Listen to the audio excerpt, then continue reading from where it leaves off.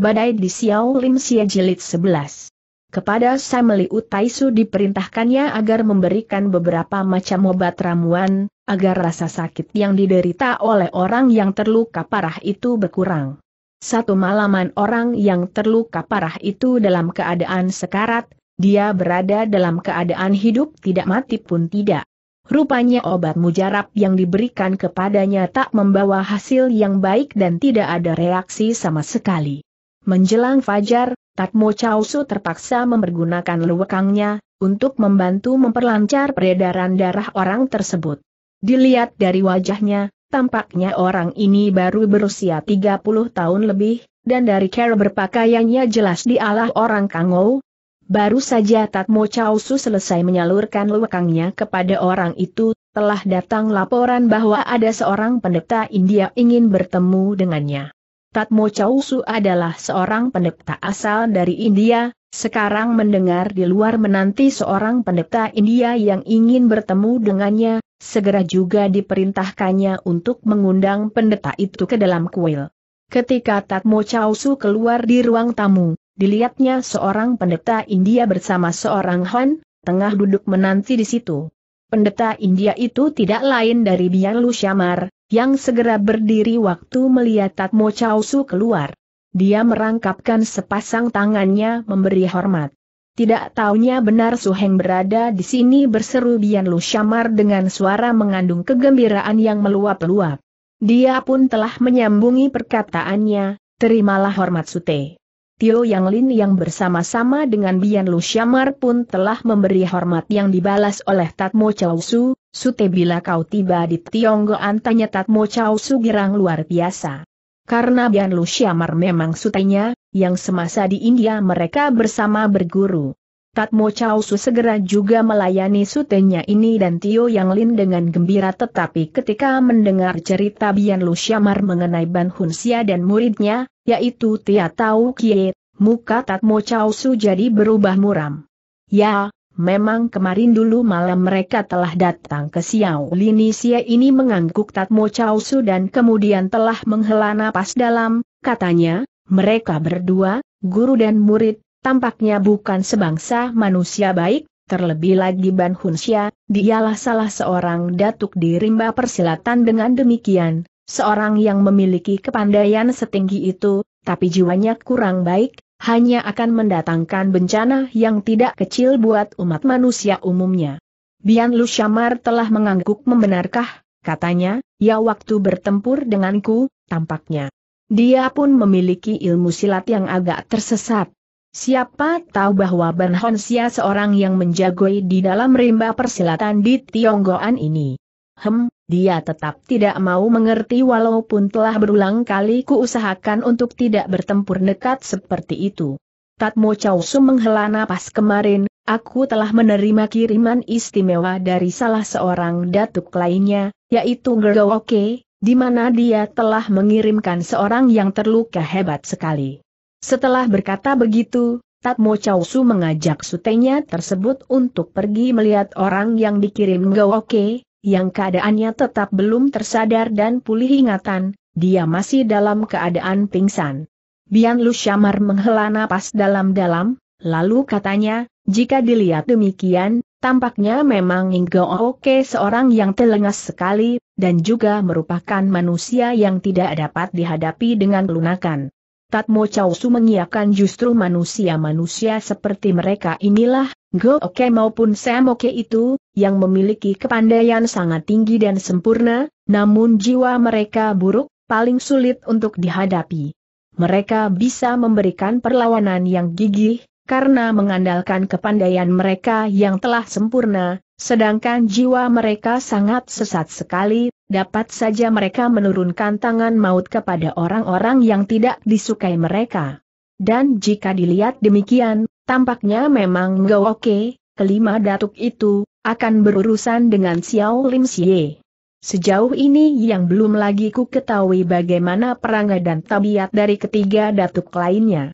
Lalu apa maksud dari Bang Sam Chie dengan mengirimkan orang terluka parah itu ke Xiao Lim Xie tanya Bian Lu Shamar dengan perasaan heran. Tatmo Chausu menghela napas aku sendiri belum lagi mengetahui menyahuti Tatmo Chausu. Dan kemudian mereka telah kembali ke ruang tamu, untuk bercakap-cakap membicarakan berbagai persoalan. Mereka pun saling menceritakan pengalaman masing-masing. Bian Lu Syamar menceritakan, dari India dia telah pergi ke Persia, karena mendengar Tatmo Chausu menjadi budak hidup ke-8 di sana. Tetapi di Persia, dia tidak berhasil bertemu dengan saudara seperguruannya ini, karena Tatmo Chausu telah meninggalkan Persia dan berkelana di daratan Tionggoan. Karena itu Bian Lu Shamar segera menuju ke Tionggoan, untuk mencari suhengnya tersebut.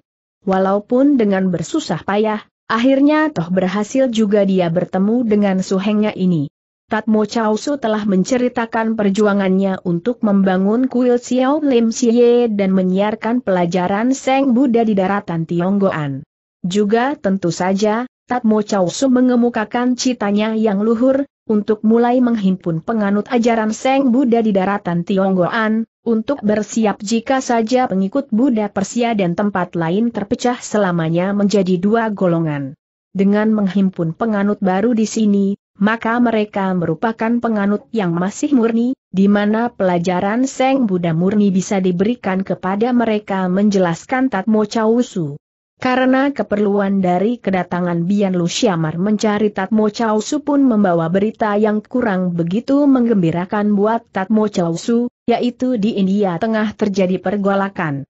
Memang waktu Siddhartha Gautama Buddha mengajarkan agama Buddha, Raja Bimbisara dari Nogadah, di India, telah berkata, jika saya boleh mengatakan, Anda tidak mengajar agama baru, melainkan mengajar perubahan besar-besaran dalam agama Hindu. Benar seperti kata Raja jawab Buddha waktu itu. Dan memang sebelum mencapai penerangan yang mulia, Siddhartha Gautama beragama Hindu, seperti halnya rakyat di kerajaan India pada masa itu.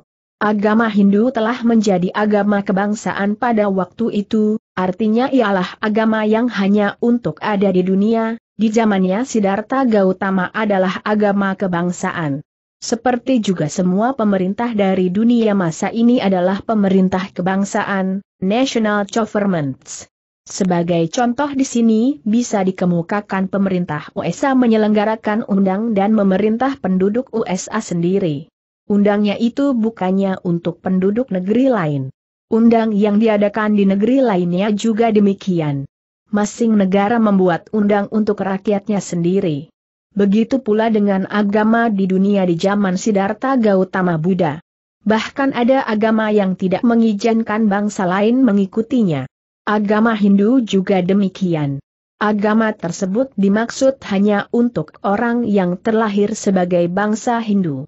Barang siapa bukan terlahir sebagai bangsa Hindu, walaupun dia percaya segalanya, dan memuja. Yang dipujanya, dia masih tidak diterima menjadi penganut agama Hindu. Waktu Buddha memberitahukan bahwa semua orang dapat mengikuti persaudaraan biku-biku, tidak peduli bangsa, warna kulit, serta warga negara apa saja, sebegitu. Lama orang yang bersangkutan senang menjalankan delapan yang mulia, dia dapat diterima oleh agama Buddha, ialah agama semesta, universal religion, yang dimaksud agama untuk semua orang di dunia. Pada siapa saja yang benar dan jujur di Allah terberkah, kata Buddha. Dan jika demikian itu benar bagi bangsa Hindu, seharusnya benar juga untuk semua orang di seluruh dunia. Tetapi belakangan itu, justru terjadi perubahan yang sangat menyolok dan besar sekali di India. India sebagai tempat lahirnya agama Buddha, ternyata memiliki pengikut yang paling sedikit. Karena umumnya rakyat India masih lebih cenderung pada agama nenek moyang mereka, yaitu agama Hindu.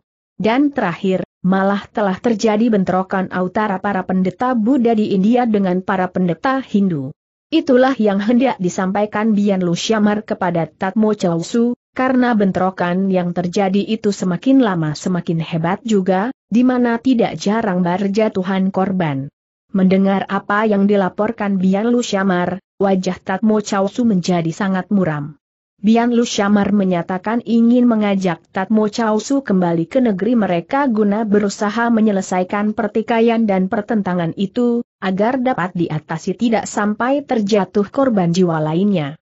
Untuk permintaan tersebut, Tatmo Chow Su minta waktu satu bulan pada Bian Lu Syamar, untuk memutuskannya. Dalam selama itu, Bian Lu Syamar berdiam di Xiao Lim Siye, guna menantikan keputusan suhengnya itu, si kakak seperguruan. Sama dengan sama dengan sama dengan sama dengan sama dengan sama dengan. Tiap tahu Kiai bersama gurunya, yaitu Ban Hun Sia Kuan Tong, telah mengikuti kedua orang yang menggotong pemuda yang terluka parah itu. Mereka mengikuti sampai di undakan anak tangga yang menuju ke kuil Xiao Lim Xie. Di situ mereka tidak mengikuti lebih jauh. Dari kejauhan itulah mereka telah dapat melihat betapa kedua orang tersebut telah menyerahkan orang yang terluka tersebut kepada Samli Utaisu, juga telah menyampaikan segulungan surat. Guru dan murid ini tidak mau terlalu dekat dengan Xiao Lim Xie, mereka menanti sekian lama sampai akhirnya mereka melihat kedua orang yang menggotong pemuda terluka parah itu lewat dekat undakan anak tangga tersebut. Segera juga Ban Hunsya menahan mereka dan menanyakan urusan mereka yang sebenarnya mengantarkan orang terluka itu pada Xiao Lim Xie. Kedua orang tersebut yang merupakan dua orang penduduk di sebuah perkampungan di kaki Gunung Xiongsan itu telah memberikan suatu penjelasan yang mereka ketahui. Setelah itu mereka tergesa meninggalkan puncak Xiongsan untuk kembali ke kampung mereka. Ban Hunsya menduga, entah siapa manusianya yang telah melukai korbannya begitu hebat, dan untuk sejenak Ban Hunsya ragu-ragu, bersama muridnya dia telah berdiam terus di undakan anak tangga yang menuju ke Xiao Lim Xie.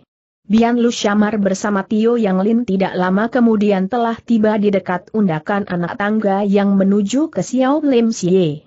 Bian Lu Syamar tersenyum kepada Ban Hunsia dan Tia Tau Kie, sikapnya ramah, tetapi Ban Hunsia memandangnya dengan mata membenci kepada Bian Lu. Syamar dan Tio Yang Lin, tidak sepatah kata pun diucapkan. Sebenarnya Bian Lu Syamar mau teruskan perjalanannya, menaiki undakan anak tangga itu, untuk mencapai kuil Xiao Lim Xie, namun waktu itulah telah terjadi sesuatu yang agak luar biasa. Waktu Bian Lu Syamar menaiki undakan anak tangga yang pertama, waktu itulah berkesyuran angin yang kuat sekali ke arah kepalanya. Bian Lu Syamar memiliki kepandaian yang tinggi dan telah mahir sekali lewekang maupun ilmu sihirnya, dia bisa mendengar menyambarnya angin serangan tersebut, segera ia mengibaskan lengan bajunya, karena pendekar ini mengetahui bahwa dirinya tengah dibokong, diserang menggelap oleh seseorang tetapi lengan jubahnya itu telah menyampok sesuatu yang keras dan benda yang menyambar ke arah dirinya itu telah meluncur jatuh ke arah batu gunung, menggelinding agak jauh. Ternyata itulah sebuah tengkorak kepala manusia. Bian Lusyamar menoleh kepada Ban Hunsia yang ada di belakangnya, katanya dengan suara yang tawar, kita sudah saling berkenalan, dan lolap kira tidak perlu Sia Cumain serang menggelap seperti itu. Jika memang ada yang hendak dibicarakan, bicarakanlah secara baik-baik mengapa harus mempergunakan segala benda yang kotor itu untuk menyerang membokong kepada lolap.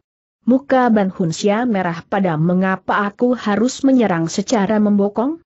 Jika memang aku menghendaki jiwamu, pendeta keparat, tentu aku akan menghantam kepalamu yang gundul itu dengan mempergunakan tanganku ini, untuk menghantam hancur. Bukan main gusarnya Ban Hunsya, karena memang tengkorak kepala manusia itu bukan dia yang timpuk. Bian Lu Syamar memperlihatkan sikap heran oleh perkataan Ban Hunsya, kemudian dengan tersenyum tawar pendeta India ini telah bertanya, jadi Xie Chu ingin mengatakan bahwa serangan tadi bukan dilakukan oleh Xie Chu? Lalu siapa? Apakah Chuan yang seorang itu, yang berada di samping Xie Chu? Bukankah di tempat ini, selain kita berempat tidak terdapat orang lainnya? Jika memang ingin menduga bahwa penyerangan membokong seperti itu, terlebih lagi dengan mempergunakan tengkorak kepala manusia seperti itu kepada pendeta Xiao Lim Xie, lebih tidak mungkin lagi, karena sebagai pendeta dari pintu perguruan yang sangat ternama, di samping itu juga memang Xiao Lim Xie merupakan kuil sumber penyiaran agama Buddha, tentu mereka takkan melakukan perbuatan serendah itu. Dan setelah berkata begitu, Bian Li Shamar telah merangkapkan serasang tangannya, dia mengucapkan kebesaran Seng Budba. Ban Hunxia jadi bertambah gusar jelasnya kau tetap menuduh aku yang telah menyerang menggelap padamu, bukan tegurnya dengan mata yang terpentang lebar, bengis sekali, dia pun telah melangkah menghampiri, bersiap akan menyerang. Bian Lu Shamar tetap merangkapkan serasang tangannya, katanya, tidak baik jika memang lolap harus menuduh seseorang. Tetapi siapa yang ingin diduga sebagai penyerang gelap itu, sedangkan di tempat ini hanya terdapat kita berempat ya, mungkinkah tengkorak kepala manusia itu menyambar datang sendiri? Rupanya Ban Hunsia sudah tidak bisa mempertahankan diri lagi, ia gusar bukan main, dengan mengeluarkan suara erangan tubuhnya mencelat gesit sekali, sepasang tangannya telah digerakkan, dia menghantam dengan kuat bukan main. Angin pukulannya ini menderu dahsyat ke tubuh Bian Lu Syamar. Tapi Bian Lu Syamar yang mengetahui Ban Hunsia seorang yang memiliki kepandaian tinggi, tidak mau melayaninya lagi. Jika memang mereka bertempur pula, tentu mereka akan terlibat dalam suatu pertempuran yang berkepanjangan tanpa berkesudahan, berani akan membuang tenaga secara sia-sia. Bukankah mereka memiliki kepandaian yang hampir berimbang? Cepat sekali Dian Lu Syamar telah mengelakkan diri tiga kali kemudian menjejakkan kakinya, tubuhnya telah mencelat menjauhi diri dari Ban Hunsia, dan pendeta India ini telah berseru dengan suara nyaring, hentikan-hentikan. Ban Hunsia dengan muka merah memandang bengis pada Bian Lu Syamar, bentaknya, apa yang ingin kau ocehkan lagi? Bian Lu Syamar merangkapkan serasang tangannya, katanya, tunggu dulu, Chu, sabar sesungguhnya. Percuma saja kita mengadu kekuatan dan ilmu, karena siapa yang menang juga tidak membawa keuntungan apa-apa buat kita. Kita baru saja bertemu, di antara kita memang tidak ada sangkutan apa pun juga, persoalan lain pun tidak ada, terlebih lagi soal dendam dan sakit hati. Karena dari itu, mengapa kita harus bertempur mempertaruhkan jiwa dan mempergunakan seluruh kesanggupan kita hanya untuk merebut kemenangan belaka? Sian Cai Sian Cai bukankah lebih bijaksana jika kita bersahabat? Mendengar perkataan pendeta India tersebut, Ban Hunsia mendengus dingin, katanya, enak saja kau bicara. Tadi seenakmu telah menuduh aku yang menyerang secara menggelap padamu hem, Hem sekarang kau mengatakan agar kita bersahabat saja. Baik, lalu apa tanggung jawabmu dengan tuduhanmu yang tidak beralasan? Bian Lu Shamar tersenyum. Sabar sekali sikap pendeta India tersebut jadi Chu ingin mengatakan bahwa penyerangan menggelap tadi dengan mempergunakan tengkorak kepala manusia itu bukan dilakukan Chu tanyanya. Ban Hunxia memandang bengis, Kemudian mengangguk pula ya sahutnya sengit aku tidak pernah mengatakan putih menjadi hitam dan hitam menjadi putih. Lola percaya pada Chu. Tetapi siapa yang telah menyerang menggelap seperti itu? Ban Hunxia menunjuk ke arah balik batu gunung di sebelah kanan dari undakan anak tangga, di sana tumbuh semak belukar yang lebat sekali, dari bermacam pohon bunga beraneka yang tengah berkembang indah sekali, karena tersusun dengan baik. Hanya pohon bunga itu terlalu subur dan lebat, begitu rapat dan juga melindungi bagian sebelah sana dari pandangan mata. Aku melihatnya tengkorak kepala manusia itu menyambar dari arah sana berkata Ban Hunxia. Bian Lu Shamar telah menoleh memandang ke arah yang ditunjuk oleh Ban Hunxia, kemudian mengangguk. Baiklah, biarlah Lola pergi melihatnya kata pendeta India itu sabar. Tetapi baru saja Bian Lu Syamar berkata sampai di situ, tiba terdengar suara tertawa yang sangat nyaring sekali, yang telah menggema di sekitar tempat itu. Tidak perlu kau mencari, aku tidak akan pergi ke mana hem, kau adalah seorang pendeta India, aku ingin melihat berapa tinggi kepandaian seorang pendeta dari Tian Tiok. Setelah suara itu lenyap, tampak sesosok tubuh melompat keluar dengan gerakan tubuh yang sangat gesit sekali, tubuhnya begitu ringan meluncur dan hinggap di hadapan Bian Lu Syamar tanpa menimbulkan suara sedikit pun. Itulah ginkang yang telah mahir sekali. Bian Lu Syamar dan yang lainnya telah mengawasi. Ternyata orang tersebut seorang kakek yang bertubuh cebol pendek, dengan kedua tangan yang panjang. Ban Hunsia yang melihat orang tersebut, mengeluarkan seruan terkejut bercampur girang ha, rupanya kau, go oke katanya nyaring.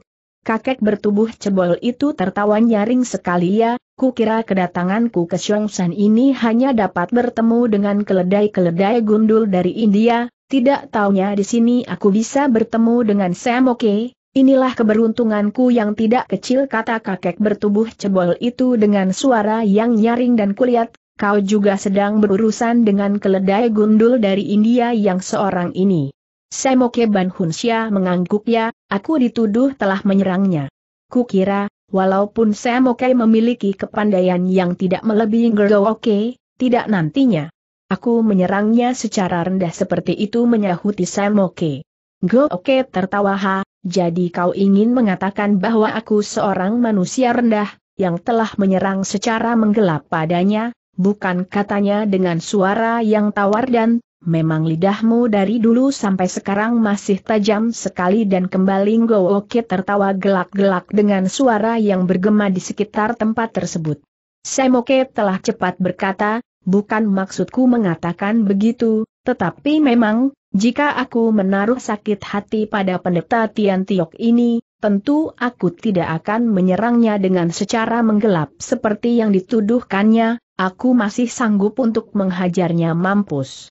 Go Oke Bang Sam Chie tertawa, katanya, aku pun tidak bersungguh waktu, menyerangnya dengan timpukan tengkorak kepala manusia jika memang aku menimpuknya dengan mempergunakan iwekangku, apakah batok kepalanya masih utuh? Hem, aku hanya ingin melihatnya saja, berapa tinggi kepandaian yang dimiliki pendeta Tian Tio tersebut. Sedangkan Yan Lu Shamar telah berpikir, orang ini memiliki kepandaian yang tidak rendah, tampaknya Ban Hunsia juga menaruh rasa segan padanya. Pantas waktu tadi aku mengibaskan lengan jubahku untuk menyampok sambaran tengkorak kepala manusia itu tanganku agak tergetar kesemutan, kiranya dia adalah seorang tokoh persilatan yang sama tingkatannya dengan Ban Hunsia. Karena berpikir begitu, Bian Lu Shamar jadi membawa sikap yang lebih waspada lagi. Hanya saja dia telah berdiam diri tanpa memperlihatkan kegelisahan, sikapnya tetap sabar dan tenang, hanya sekali-kali dia mengucapkan kebesaran Seng Buddha. Go Oke Beng Sam Chie saat itu telah menoleh dengan menyeringai, tubuhnya yang pendek sekali seperti anak berusia tujuh tahun, atau delapan tahun, telah bergerak ringan sekali, tahu dia telah mengulurkan tangannya. Go Oke memang tidak memiliki kepandaian apa selain menyerang menggelap kepada lawannya ejeknya. Dan dia juga meneruskan uluran tangannya, yang berukuran lebih panjang dari bentuk tubuhnya yang pendek itu. Bian Lu Shamar sejak tadi memang telah berwaspada, dan waktu melihat orang bertubuh cebol pendek ini menyerangnya seperti itu tanpa basa-basi, membuatnya jadi mendongkol, karena tampaknya Ngau Oke seorang tidak mempergunakan aturan dan bergerak serampangan sekehendak hatinya belaka. Namun angin dari serangan kedua tangan Ngau Oke menyebabkan Bian Lu Shamar pun tidak berani berayal, karena itulah serangan yang hebat dan bisa mematikan, karenanya Bian Lu Shamar mengelakkan diri dengan segera, di mana dia berusaha untuk dapat menangkis serangan Ngau Oke. Gerakannya yang dilakukannya itu merupakan gerakan yang secepat kilat, sebab serangan Oke memang meluncur sangat cepat sekali sulit diikuti pandangan mata, dan Bian Lu harus menangkisnya dengan cepat pula. Dikala itu Bian Lu berhasil menangkis kedua tangan Oke. Namun berbeda dengan jago lainnya, Oke tidak menarik ketua tangannya. Waktu kedua tangannya ditangkis oleh Bian Lu di kala itu Okit telah mengempos tenaganya, dia membiarkan kedua tangannya itu menempel pada tangan Bian Lu Shamar. Bian Lu jadi terkejut bukan main, karena dia merasakan betapa tangan dari Okit tersalur hawa yang panas sekali, hawa panas yang membuat tangannya seperti terbakar api. Cepat Bian Lu Shamar mengempos semangat dan tenaga dalamnya, karena hatinya tercekat mengetahui bahwa Oke ternyata seorang yang memiliki luakang yang telah sempurna sekali, dan tenaga luakangnya itu dipergunakan dengan sifat yang panas, dan menimbulkan hawa yang sepanas api. Jika memang Go Oke bertemu lawan yang berkepandaian biasa saja, dalam satu jurus serangan seperti itu dia akan berhasil membuat lawannya terluka hebat, terluka di dalam dan tangan yang akan dipakai menangkis serangan Go Oke ini akan menjadi lumpuh dan tidak dapat dipergunakan seumur hidupnya lagi. Tapi sekarang justru dia berhadapan dengan Bian Lu Syamar, yang memang memiliki kepandaian yang sangat tinggi sekali, karenanya Bian Lu Syamar tidak bisa dirubuhkan dengan care seperti itu. Waktu Bian Lu Syamar merasakan panasnya kedua tangan lawannya itu, dia telah mengempos dengan mengerahkan tenaga dalamnya, karenanya tenaga dalam yang panas dari Go Oke telah dapat dibendungnya, malah telah berhasil dibuat terpental kembali pada pemiliknya. Mempergunakan kesempatan itu Bian Lu Syamar telah membarengi untuk menyerang dengan sampokan tangan yang satunya, yang telah disaluri tenaga dalamnya sebanyak tujuh bagian. Menyadari bahwa dirinya tengah berhadapan dengan seorang lawan yang tangguh, dengan sendirinya Bian Lu Syamar mengetahui bahwa dirinya tidak bisa melayaninya dengan care setengah hati, itulah sebabnya, Sekali ini dia membuka serangannya dengan lewekang delapan bagian, dia menyampok dengan maksud agar lawannya itu menghindar dan menjauhi diri darinya, dan nanti barulah mengajaknya bercakap-cakap. Tetapi Go Oke benar lihai. Walaupun lewekang yang dimilikinya tidak terlalu terpaut banyak dari Bian Lu Syamar, yang aneh adalah Kero menyerangnya. Yang membuat Bian Lu Syamar tambah kikuk melayaninya, Justru orang bertubuh cebol itu selalu bergerak bermain di bagian bawah, dan tubuhnya yang pendek itu sering membingungkan Bian Lu Syamar. Jika bertempur dengan seorang yang bertubuh wajar, tentu dia akan dapat menyerang jauh lebih mudah dan tepat, tetapi sekarang bentuk tubuh lawannya yang pendek itu telah membuat Bian Lu Syamar sering lolos dengan gempurannya. Dan yang lebih luar biasa lagi justru Gao Oke memiliki sepasang tangan yang panjang melebihi ukuran tubuhnya. Bian Lu Syamar mengempos semangatnya ketika dilihatnya Gao Oke telah berkelebat ke sana kemari. Tubuhnya yang pendek itu membuat dia bergerak tampaknya lebih gesit dari orang lainnya. Karenanya, begitu dia bergerak, kedua tangannya digerakkan, seperti juga dia membingungkan Bian Lu Syamar. Bian Lu Syamar mengawasi cara bersilat dari Gergo Oke, berulang kali hanya menghindar dan mengelak atau menangkis, jika memang itu pun terlalu terpaksa. Dan selama itu Biari Lu Syamar telah memperhatikan cara bersilat dari orang bertubuh pendek ini, sehingga dia sudah bisa mempelajari ilmu silat dari Gergo Oke Bang Sam Chie, di mana pendeta dari India tersebut berusaha mencari kelemahan lawannya. Akhirnya setelah beberapa jurus lagi, Bian Lu Syamar telah menggerakkan sepasang tangannya, pertama-tama dia merangkapkan kedua tangannya itu, seperti sedang memberi hormat. Kemudian dia membentak, suaranya seperti juga mengerangnya harimau, kedua telapak tangannya itu telah dipentangnya, dari kedua telapak tangan itu meluncur tenaga yang kuat sekali, menyambar kepada Ngo Oke.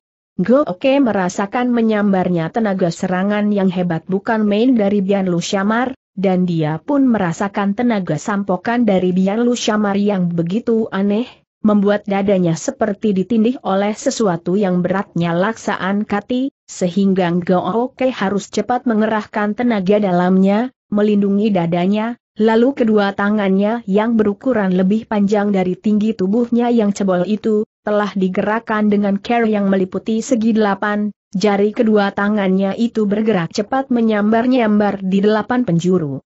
Bian Lu Syamar terkejut melihat care lawannya menyerang seperti itu, yang merupakan tangkisan berbareng juga sebagai serangan membalas dari lawannya itu, di mana kedua tangannya itu mempergunakan ilmu pukulan yang serupa dengan pukulan Pat Kwa Kun yang terkenal itu, yaitu pukulan delapan penjuru.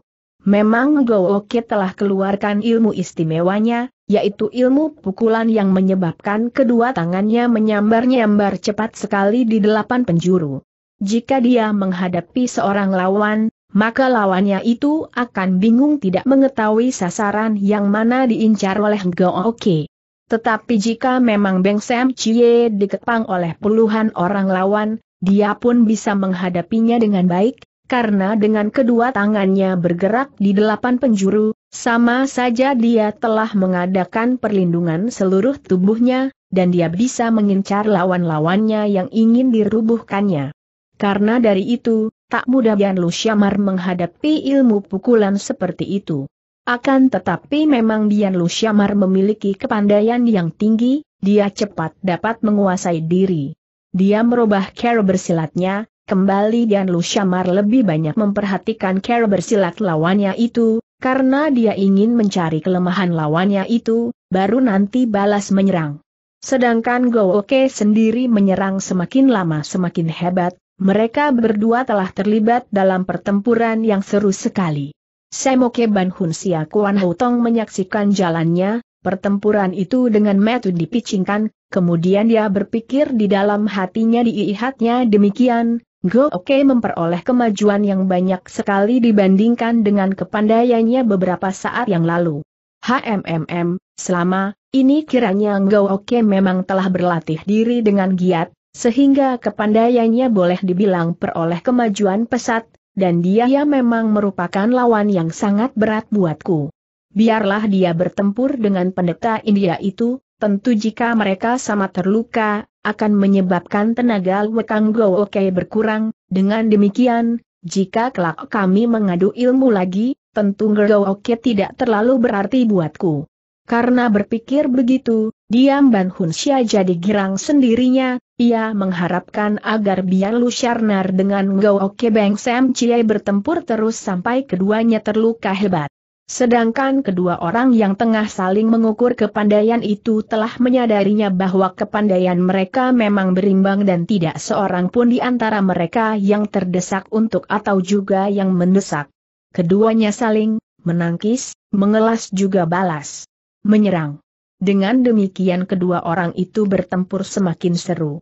Tetapi setelah melewati seratus jurus, Go Oke melihatnya bahwa kepandaian Yan Lu Sharnar tidak berada di sebelah bawah kepandaiannya, tampaknya pendeta India ini dapat mengimbangi setiap serangannya yang bagaimana hebat sekalipun juga.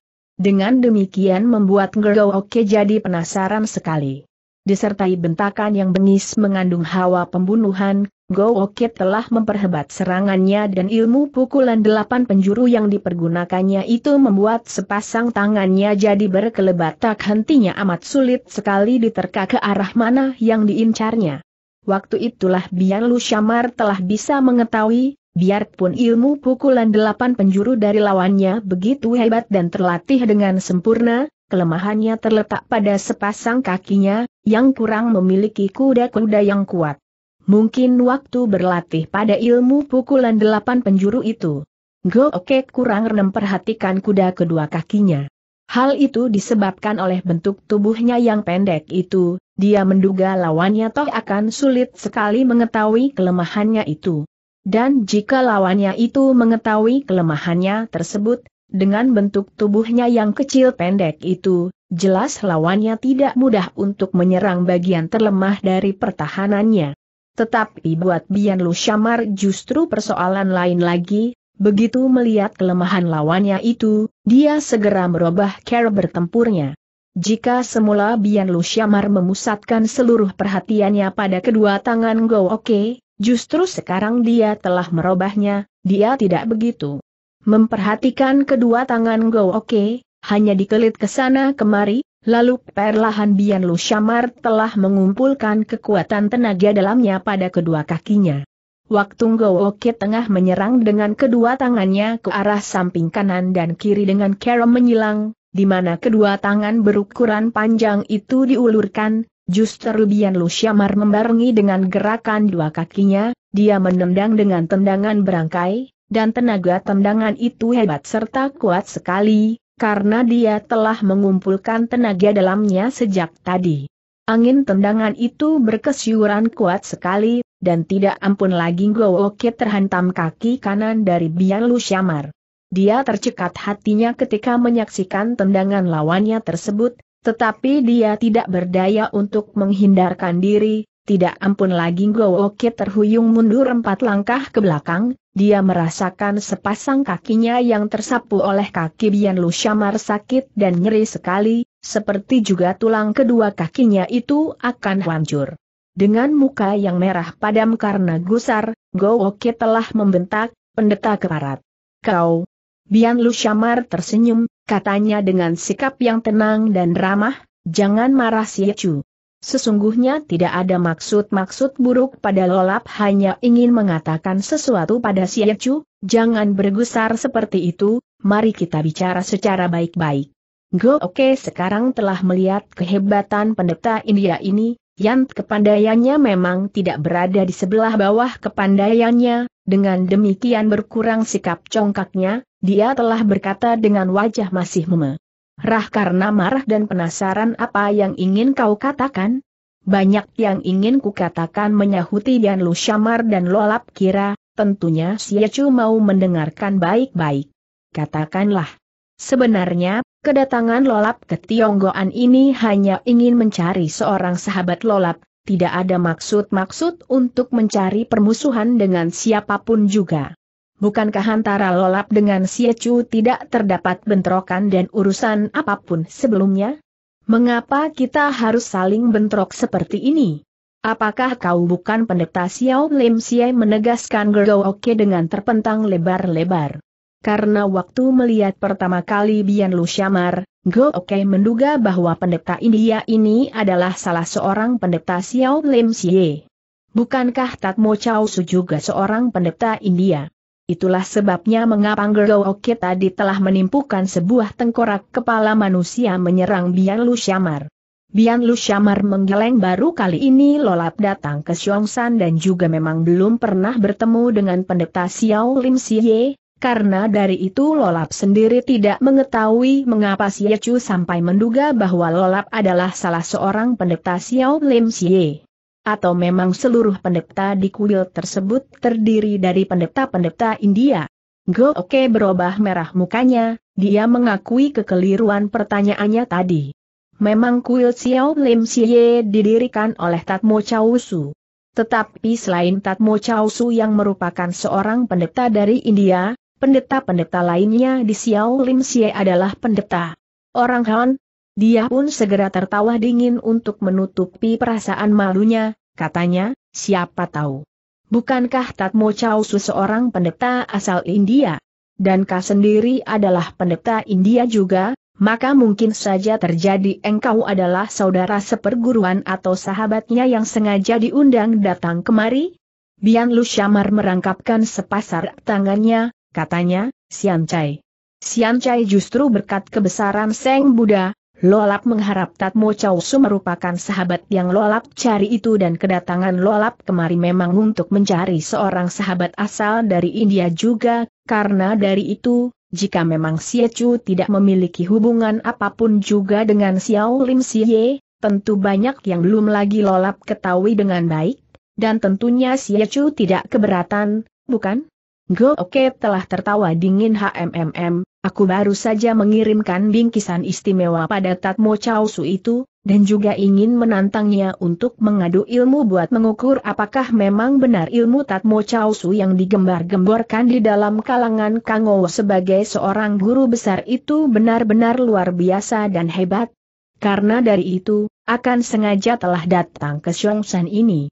Mendengar perkataan Go Oke sampai di situ, Ban Hun Sia telah menyelak ikut bicara jadi orang yang terluka parah itu memang dikirim olehmu. Jadi itu adalah perbuatanmu, Go Oke. Ya mengangguk Go Oke dengan sikap yang angkuh. Dan kau, Sam Oke, apa kerjamu berkeliaran di Xiongsan juga? Sam Oke girang bukan main mendengar bahwa Go Oke juga memusuhi Tatmo Chao Su. Sama seperti kau juga menyahuti Semoke dengan segera aku pun telah minta pengajaran dari guru besar yang sangat ternama itu berkata sampai di situ dengan nada mengejek, dia telah mendengus beberapa kali, baru kemudian melanjutkannya, dan aku telah bertempur beberapa jurus dengannya. Namun dia terlalu licik, dia mempergunakan ilmu sihir.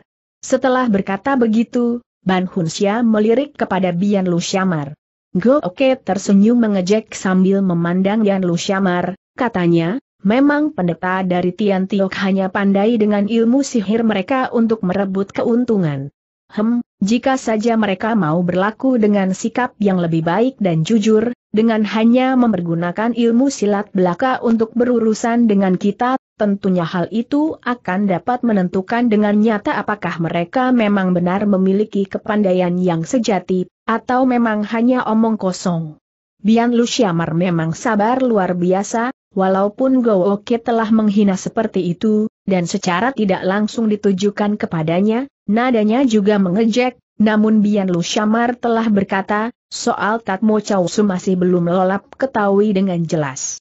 Namun, jika kelak lolap telah mengetahuinya dan bercakap dengannya, tentu lebih banyak lagi yang lolap ketahui, sehingga dapat bercakap pula dengan Chu untuk membicarakan apakah Tatmo Su itu seorang yang berdiri di garis yang baik atau memang tersesat. Walaupun di mulut berkata begitu, Bian Lu Syamar berpikir tetapi yang jelas, kalian berdua yang merupakan manusia tersesat. Semoke atau Gooke sama saja, kalian memperlihatkan ilmu silat kalian yang sesat, juga tangan kalian yang telengas sekali. Mendengar perkataan Bian Lu Syamar, Gooke tertawa dingin besok malam, aku akan mendatangi Xiao Lim Xie untuk meminta petunjuknya dan beritahukan pada Tatmo Chao Su jika memang kau bertemu dengannya, supaya dia tunggu kedatanganku itu. Bian Lu Syamar mengangguk sabar.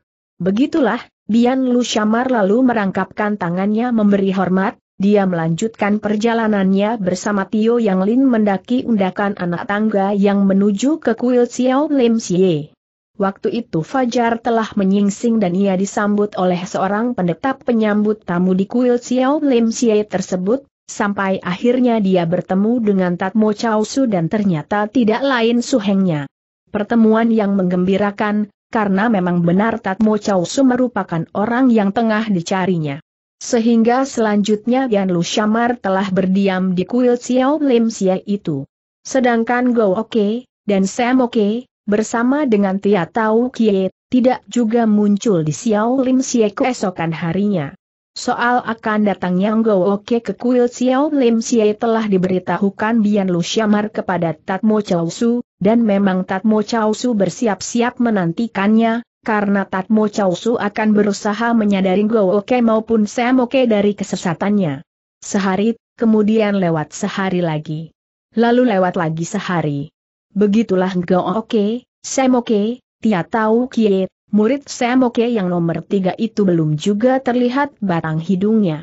Bian Lu Shamar dan Tatmo Chau Su hanya menduga mungkin Go Oke dan Semoke membatalkan maksud mereka guna menyatroni Xiao Lim Xie, mengingat kepandaian Tatmo Chau Su yang benar luar biasa tingginya.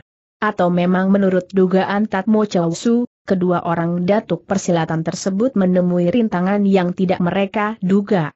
Walaupun demikian, Tatmo Chao Su telah perintahkan murid Xiao Lim Xie untuk mengadakan penjagaan yang ketat, karena pengalaman di mana bagian belakang kuil Xiao Lim Xie yang telah dibakar oleh Ban Hun Xia, merupakan pengalaman yang pahit sekali. Tatmo Chao Su tidak mau sampai persoalan yang kurang menggembirakan itu terjadi dan terulang kembali. Tetapi setelah lewat seminggu, Go Oke dan Sam Oke tetap tidak menyatroni Xiao Lim Xie mungkin juga kedua datuk itu telah merubah rencana mereka. Pemuda yang terluka hebat itu berangsur-angsur sembuh, kini dia tidak pingsan lagi, telah bisa bercakap, tapi keadaannya sangat mengenaskan sekali, dengan sepasang matanya yang buta hidung yang sudah terpotong buntung dan kedua daun telinganya yang lenyap dan mulutnya yang dirobek jadi lebar itu benar dia merupakan seorang pemuda yang harus dikasihani nasibnya. Kepada Tatmo Su pemuda itu telah menceritakan, bahwa dia seorang Su di wilayah Holam, dan entah mengapa, dia dimusuhi oleh Ngao Oke Beng Sam Chie, dan hari itu tidak disangka mereka bertemu di kaki Gunung Xiongsan di saat itu pemuda tersebut yang mengaku bernama Fang Tai Chong, tengah melakukan tugasnya mengantar barang dan Ngao Oke telah menghadangnya, menyiksanya, sampai dia terluka begitu hebat. Dia pun dalam keadaan pingsan, tidak mengetahui dirinya telah dikirim ke Xiao Lim Xie. Setelah menceritakan segalanya itu, Fang Tai Chong menangis terisak-isak. Tatmo Chao Su menghiburnya. dan pendiri Xiao Lim Xie yang melihat keadaan pemuda yang mengenaskan menyatakan kesediaannya untuk menerima Fang Taichong menjadi muridnya yang ketiga, yaitu menjadi adik seperguruan Sam Liu Taisu dan Sin Cheng Taisu. Bukan alang kepalang girangnya Fang Taichong, karena dia mengalami bencana itu, namun nasibnya telah berubah jadi demikian baik, bisa diterima menjadi murid Tatmo Chao Su, seorang guru besar yang sangat terkena kelihayannya itu.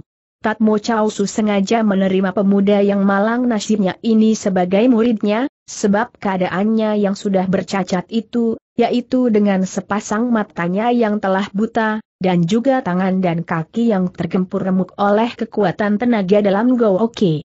Jika memang Fang Taichong diperintahkan jadi murid Sam Liu Taisu atau Sin Cheng Taisu tentu pemuda itu kurang memperoleh kemajuan yang berarti oleh kacatnya itu. Sebab itulah Tatmo Chao Su ingin mendidiknya langsung olehnya sendiri. Tatmo Chao Su juga telah menjelaskan kepada Fang Taichong, seorang murid Xiao Lim Xie harus patuh dan memenuhi satu syarat, yaitu, harus menuntut penghidupan sebagai seorang pendeta. Fang Taichong setuju. Begitulah, setelah lewat lagi setengah bulan, Fang Taichong menjalankan upacara pencukuran rambut, dan juga di saat itu namanya telah diganti, memakai gelaran Wei Kong Tai Su, yaitu pendeta yang memasuki pintu terang atau hidup baru. Dan dia merupakan murid ketiga Tatmo Chao Su. Walaupun kepandaiannya terpaut jauh dengan kedua suhengnya, yaitu Sam Liu Taisu dan Sin Cheng Taisu juga masih berada di sebelah bawah kepandaian murid kedua pendeta alim Xiao Lim Xie itu, namun setelah kelak menerima didikan Tatmo Chao Su, Wei Kong Tai sulah seorang yang paling lihai ilmu silatnya di antara ketiga murid yang ada. Mungkin disebabkan cacatnya itu, membuat Wei Kong Tai Su bertekun hati dalam mempelajari seluruh ilmu yang diwarisi gurunya, sehingga kelak dia menjadi seorang pendeta alim yang luar biasa sekali kepandaiannya. Ke mana perginya Sam Oke, Go Oke, dan Tiat Kie? Ternyata seperginya Bian Lu Syamar mereka bertiga telah pergi ke dekat semak belukar di mana banyak sekali pohon bunga di samping jalanan yang memiliki unggakan anak tangga itu. Mereka telah bercakap. Go Oke dan Sam Oke berbicara dengan asik sekali, sedangkan Tia Tau Kie hanya mendengarkan saja. Semoke telah menceritakan pengalamannya, terus terang dia juga mengatakan bahwa Tatmo Chao Su memang seorang yang memiliki kepandaian luar biasa. Jika hanya baru aku atau engkau seorang diri saja, tentu kau tidak dapat menandinginya, Go Oke kata Semoke dengan sikap bersungguh-sungguh. Go Oke yang mendengar perkataan Semoke jadi tidak senang, dia tersinggung mungkin disebabkan Tatmo Chao Su menghadapimu, maka kau beranggapan dia memiliki kepandaian yang sangat luar biasa. Belum tentu jika memang dia berhadapan denganku kata Go Oke. Berkata begitu, Go Oke ingin mengartikan bahwa kepandaiannya tentu lebih tinggi dari Ban Hunxia. Dan jika Ban Hunxia dirubuhkan Tatmo Chao Su hanya Beberapa jurus itu hanya disebabkan dia memiliki kepandaian yang tidak sesempurna. Go Oke.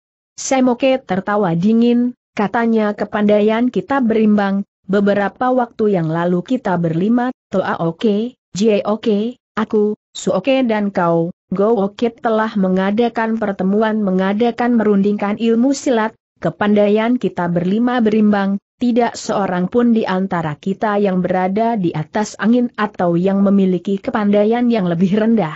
Karenanya, jika memang aku tidak sanggup menghadapi Tatmo Su, sama halnya dengan kau juga, yang tidak mungkin dapat menghadapi pendeta sakti dari India itu. Mendengar perkataan Samoke itu Oke tertawa keras mengejek sejak kapan kau menjadi manusia pengecut seperti itu ejeknya ha, ha, kita berlima, Toa Oke, Jie Oke, Sam Oke, Su Oke dan juga Ngo Oke merupakan lima orang datuk persilatan yang tidak pernah bertemu tandingan. Tetapi sekarang, aku mendengar langsung dari mulutmu, sebagai Sam Oke, bahwa Tatmo Chau Su adalah seorang pendeta sakti. Luar biasa. Luar biasa. Hal ini malah membuat aku jadi tambah mengiler untuk mengadu ilmu dengannya. Setelah berkata begitu, Go Oke tertawa lagi dengan suara yang nyaring sekali, Terlihat jelas dia meremahkan Samoke. Tentu saja sikap Oke membuat Samoke tidak senang, katanya, apakah kau tetap ingin bertemu dengan Tatmo Chawasu? Yaitu sudah pasti kata Oke. Aku memberitahukan segalanya dengan jujur padamu, bukan untuk menggertakmu atau juga mengangkat si pendeta keparat Xiao Lim Xie itu kata Samoke tetapi. Aku ingin merundingkannya denganmu, bagaimana cara terbaik untuk menghadapinya. Hem, dengan memberitahukan sejujurnya apa yang telah kualami dan di mana aku dirubuhkan oleh pendeta keparat itu, tentu kau bisa mengambil kesimpulan dan bisa bantu memberikan pendapat dan memikirkan cara yang terbaik untuk menghadapi pendeta itu. Go Oke masih tertawa mengejek kau tidak perlu bergelisah seperti itu kata Go Oke kemudian dengan sikap angkuh sekali kau boleh menyaksikan, bagaimana, besok pagi aku akan menghajar Tatmo Chausu, sampai dia bertekuk lutut memohon pengampunan dariku. Kau terlalu congkak kau tak mau mempercayai keteranganku, itu masih tidak apa tetapi justru akan membuat engkau yang akan bercelaka sendiri. Hem, terserah kepadamu jika memang engkau mau mencari Tatmo Chausu juga, aku pun takkan melarang. Justru aku dapat menyaksikan nanti, bagaimana kau dirubuhkan oleh pendeta itu. Kau jangan terlalu mengangkat Tatmo Chausu untuk menggertaku kata Nggo Oke Hem, walaupun kau mengatakan apa saja, tetap aku akan mencari Tatmo Chausu, untuk mengukur ilmu dengannya. Hem, jika demikian, baiklah besok pagi kita berangkat bersama kata Ban Hunxia mendongkol bukan main karena Ngo Oke seperti juga tidak mau mempercayai keterangannya mengenai kelihayan Tatmo Chausu. Sedangkan Ngo Oke masih tertawa dengan congkak, baru saja dia mau berkata tiba-tiba terdengar suara orang berkata, ya, Memang apa yang dikatakan Sam Oke benar adanya. Go Oke, kau tak bisa bertindak ceroboh seperti itu.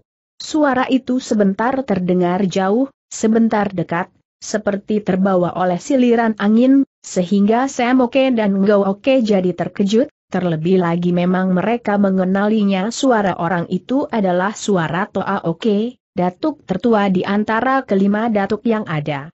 Toa Oke juga datang ke Xiongsan ini seru Sam Oke dengan suara yang diliputi kegembiraan inilah bagus, karena berarti kita bertiga telah berkumpul di sini.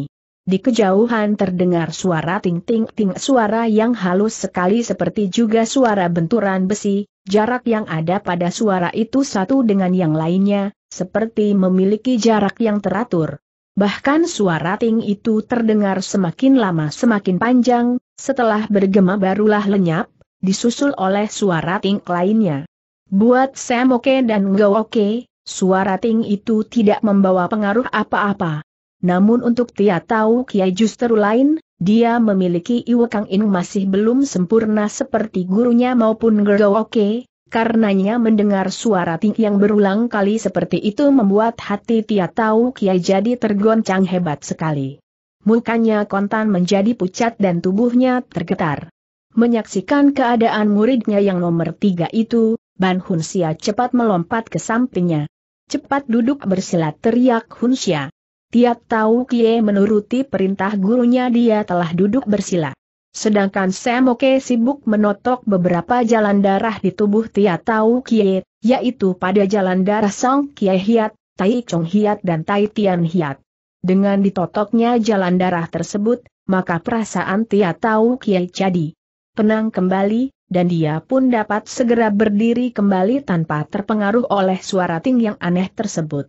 Suara ting itu terdengar semakin dekat dan jelas, Sampat akhirnya tampak sesosok tubuh tengah melesat cepat sekali menghampiri Samoke dan Inggo Oke. Begitu cepatnya orang tersebut berlari, sehingga dia tidak bisa dilihat dengan jelas, hanya merupakan gumpalan warna merah belaka, mungkin orang itu mengenakan warna merah dan telah tiba di hadapan Samoke dan Ngao Oke dengan segera. Toako berseru Samoke dan Ngao Oke hampir berbareng. Orang yang baru datang itu seorang kakek tua yang aneh sekali keadaannya. Tubuhnya tinggi kurus seperti galah, tapi punggungnya, melengkung dalam sekali, bungkuk sangat, dan dia berdiri dengan sikap seperti juga gaotan, di mana kepalanya membungkuk ke depan, tapi sepasang kakinya tegap. Usianya mungkin telah 80 tahun, memelihara kumis dan jenggot yang cukup panjang telah berwarna putih, dia mengenakan jubah panjang warna merah. Kalian berdua berkumpul di Xiongsan hanya untuk urusan Tatmo Chao dan aku datang kemari pun untuk urusan pendeta India itu kata Toa Oke dengan suara yang nyaring, seperti juga suara kaleng yang diketuk-ketuk, nyaring dan memekakkan telinga, suaranya itu tidak wajar, sember, namun melengking, menunjukkan lekangnya telah pada tingkat yang sempurna. Benar mengangguk Sam Oke segera memang aku yang terlebih dulu mencari Tatmo Chausu, karena aku tidak dapat menerimanya dia bergelar guru besar bukankah di dalam rimba persilatan kita berlima sebagai datuk persilatan yang menguasainya, dan sekarang dia muncul di Tionggoan dengan memakai gelar guru besar, dengan sendirinya tidak dapat aku menerimanya begitu saja. Benar Sam T, kau merasa bahwa kau yang datang terlebih dulu kemari, tetapi sesungguhnya apa yang kau lakukan selalu diawasi olehku, maka aku mengetahui dengan jelas bagaimana dalam beberapa jurus saja kau telah dirubuhkan pendeta itu dengan caranya yang luar biasa dan aneh sekali. Hem, aku juga telah menyaksikan pendeta India itu mungkin berada di atas kepandaianku sendiri. Mendengar perkataan Toa Oke seperti itu, Go Oke jadi bimbang hatinya. Tidak mungkin Toa Oke yang biasanya angkuh, akan berdusta bahwa dirinya tidak dapat menandingi pendeta itu. Karena biasanya Toa Oke merupakan seorang yang tidak pernah mau mengalah. Karena dari itu, Kini Go Oke mau mempercayai apa yang pernah dikatakan oleh Sam Oke, bahwa kepandaian Tatmo Chow Su memang sangat tinggi. Go Te kata Toa Oke lagi jika memang kau tidak ingin menerima bencana, lebih baik kau menunda maksudmu untuk menemui Tatmo Chow Su. Toa Oke dengan suara yang nyaring telah meneruskan lagi perkataannya, kau tentu tidak memandang rendah Toa Komu ini, bukan? tentunya kau pun tidak merasa bahwa kepandaianmu lebih tinggi dan berada di atas kepandaianku, bukan? Go Oke mengangguk tentu saja mana aku berani memandang rendah pada Toako sahutnya. Jika demikian, kau lebih baik batalkan di ilu, tundalah maksudmu untuk mengukur ilmu dengan Tatmo Chausu, karena aku telah melihatnya, hanya dalam beberapa jurus. Saja Sam T telah dibuat begitu rupa, tidak berdaya sama sekali. Waktu itu jika memang Tatmo Chao Su ingin menurunkan tangan kematian padanya, tentu dengan mudah dia bisa melakukannya hem, aku yang menyaksikan kepandaiannya itu juga telah memperoleh kenyataan, jika memang aku yang menggantikan kedudukan Sam T, mengukur ilmu dengannya, tentu aku pun akan dirubuhkan sama mudahnya seperti yang dialami Sam T. Apakah Tatmo Chao Su benar-benar begitu lihai tanya Go Oke masih ragu-ragu. Toa Komu tidak mungkin berdusta kata Toa Oke tapi aku telah memikirkan satu daya untuk menyingkirkan pendeta India itu dengan jalan yang sebaik mungkin. Jika memang kita berlima, yaitu kelima datuk persilatan bisa berkumpul dan mengadakan kerjasama yang baik, walaupun bagaimana lihainya Tatmo Chao Su, pasti kita bisa membereskannya. Jadi maksud toh aku? Kita menunda dulu maksud untuk mengukur ilmu dengan pendeta India itu, kita pergi mencari Suoke dan Oke, dan jika mereka telah berkumpul bersama kita, berlima kita pergi menemui Tatmo Chausu. Tentu waktu itu kita tidak perlu jari lagi, di main kita pasti akan dapat menghadapinya dengan sebaik mungkin. Mendengar perkataan Oke yang tertua itu Go Oke tampaknya jadi ragu-ragu. Dia berdiam diri sejenak, sampai akhirnya dia mengangguk juga jika memang Toako yang berpendapat begitu yang paling baik, maka aku hanya minuruti saja kata Ngo Oke kemudian ke mana kita harus mencari Jie dan Suoke. Itu urusan yang mudah yang penting harus terdapat kekompakan di antara kita. Jika tidak, tentu pamer kita akan runtuh. Jika kita maju menghadapi pendeta India itu seorang demi seorang, tidak ada seorang pun di antara kita yang akan sanggup menghadapinya. Berbeda jika sekaligus kita berlima maju serentak, untuk menghadapi pendeta India itu, tentu kita bisa menghadapi sebaik mungkin, dan tidak mungkin Tatmo Chao Su bisa merubuhkan kita. Dengan demikian kita bisa mempertahankan terus pamor lima datuk persilatan. Jika sampai kita rubuh seorang demi seorang di tangan pendeta India, itu lebih parah dan memalukan lagi, nama besar kita yang telah kita bina selama puluhan tahun, akan hancur dalam waktu tidak sampai satu hari saja. Go Oke tambah bimbang.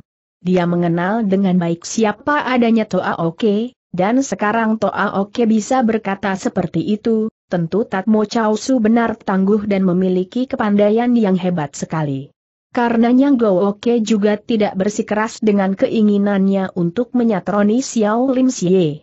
Baiklah katanya kemudian jika memang Toako berpendapat begitu, aku akan bersabar untuk melihat berapa tinggi kepandaian Tatmo Su. Aku akan bersabar sampai Jie Oke dan Su Oke telah berkumpul juga. Begitulah, mereka telah merundingkan segalanya di tempat itu, dan akhirnya mereka telah berangkat meninggalkan Xiongsan, untuk mencari Jie Oke dan Su Oke, untuk mengajak mereka bergabung dalam menghadapi Tatmo Su. Di luar kota Banciu, di sebuah lapangan rumput, di mana rumputnya tumbuh tidak begitu tinggi, namun hijau segar menunjukkan rumput-rumput itu tumbuh cukup subur, tampak seorang penunggang kuda yang tengah melarikan kuda tunggangannya menjauhi kota Banciu, rupanya memang dia baru saja meninggalkan kota tersebut. Kuda orang itu berbulu putih bercampur sedikit warna coklat di dekat bagian perut dan ekornya, dan kuda itu memang berlari sangat pesat, tampaknya merupakan kuda pilihan karena dengan tubuhnya yang tinggi besar, kuda tersebut mungkin berasal dari Mongolia. Penunggang kuda putih tersebut juga sebentar telah menghentak tali kendali kudanya, rupanya dia menghendaki binatang tunggangannya itu berlari lebih cepat lagi. Dialah seorang pemuda berusia 20 tahun lebih, wajahnya putih tampan, dengan rambut yang diikat dalam bentuk konde dibungkus dengan kain sutera warna putih, bajunya yang merupakan baju panjang, berwarna putih. Dilihat sekilas, dia seperti seorang pelajar yang lemah. Namun jika diperhatikan cara dia menunggangi kudanya itu, di mana biarpun kuda tunggangannya berlari begitu cepat, tubuhnya sama sekali tidak terguncang, dialah seorang pemuda yang memiliki kepandaian tinggi. Dan yang luar biasa lagi, justru baju putihnya itu agak aneh. Di beberapa tempat dan bagian dari baju itu sendiri, ditambal dengan beberapa potong bahan cita lain yang berwarna-warni. Keadaan ini yang menarik hati. Setiap orang yang melihat pemuda itu tentu tidak akan menyangka bahwa pemuda itu adalah seorang pengemis.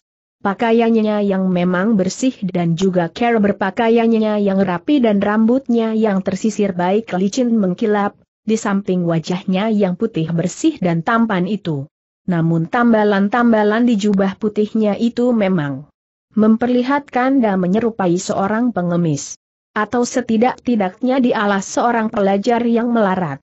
Mungkin jubah putihnya itu telah robek dan dia menambalnya dengan mempergunakan potongan kain lain, karena dia tidak memiliki uang untuk membeli jubah yang baru.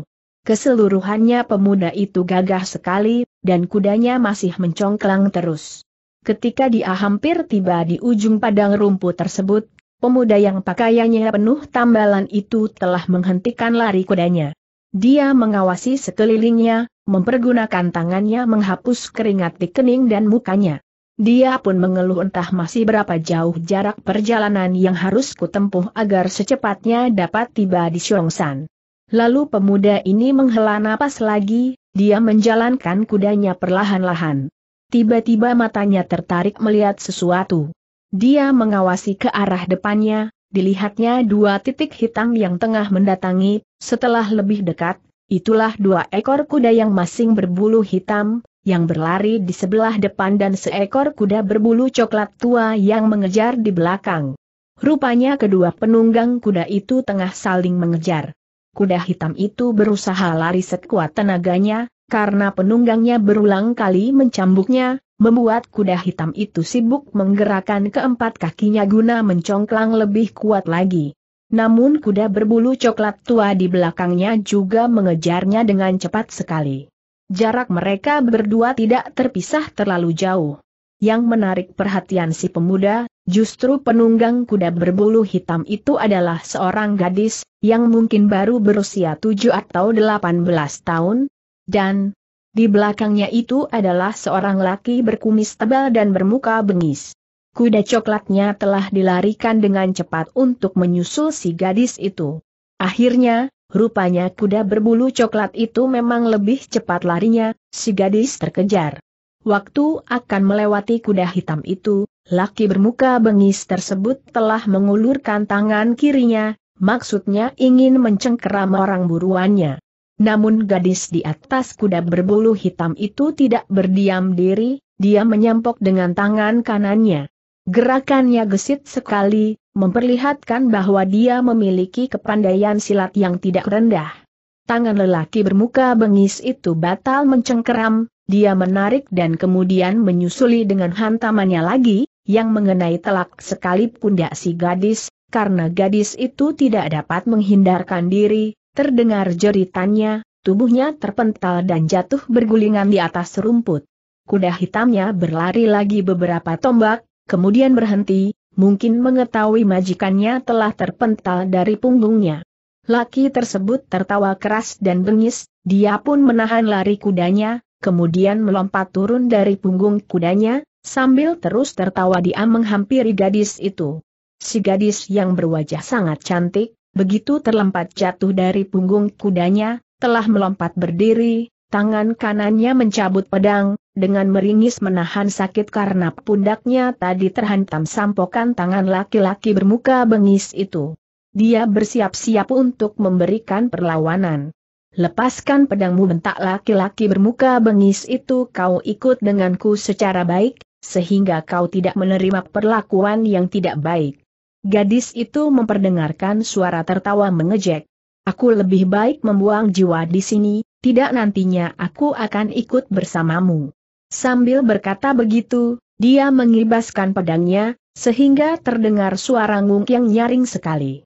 Laki bermuka bengis itu tertawa keras, katanya mengejek seperti juga tidak memandang sebelah mata pada gadis itu, Nona kau jangan mencari susah untuk dirimu sendiri.